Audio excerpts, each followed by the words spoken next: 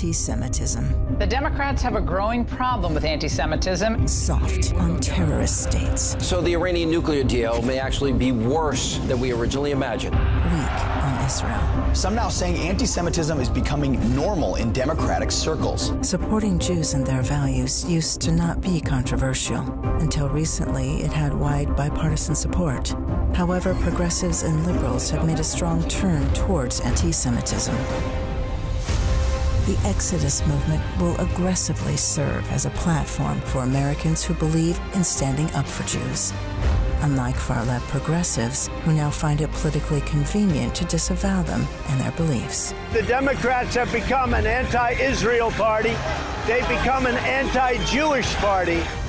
The choice is clear. As progressives continue to pursue an agenda of anti Semitism, the Exodus movement will exist to show American Jews there is another choice.